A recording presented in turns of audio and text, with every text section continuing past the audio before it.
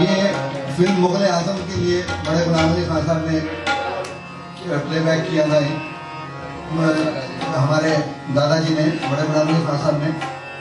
तो ये रचना आपके सामने पेश करते हैं तीन साल की बंदिश है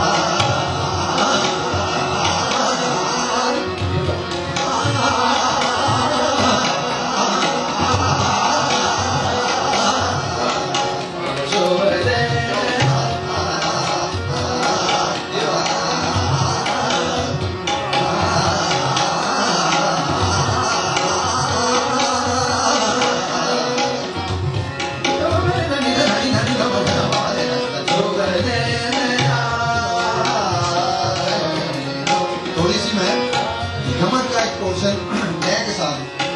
जो कि बहुत मुश्किल है जो कि पैटर्न स्कूल ऑफ बड़े गुलाम अली खान साहब है वो थोड़ा सा मैं पेश करता हूँ